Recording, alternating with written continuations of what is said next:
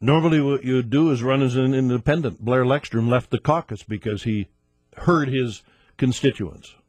Well, I mean that's not the that's not the route that everybody takes. I guess some people choose that for themselves, but you know, I, I the BC Liberals, thank goodness, are a little bit different from the NDP. They stick together, and you know, it is a, it's an amazing thing. You see the NDP at forty five percent in the polls; they're falling apart, crumbling, like uh, folding like a cheap tent in the face of this incredible polling data. And here's the BC Liberals, been pretty down in the polls, and they've pretty much stuck together. I mean, even Blair, who left, left on incredibly good terms with very many kind words to say about his colleagues and the premier. So, you bring just, I mean, and this is this is how the two parties would run government, right? I mean, I think you've seen a look behind the veil of the NDP. If they can't run their own party, they can't run this province. Would you bring Blair Lekstrom back into the caucus? I would try absolutely. Bill Blair Bennett? Lekstrom has had a has made a huge contribution to public life, and I think he's got a lot more to make. And he left, as I said, with pretty positive words about the group.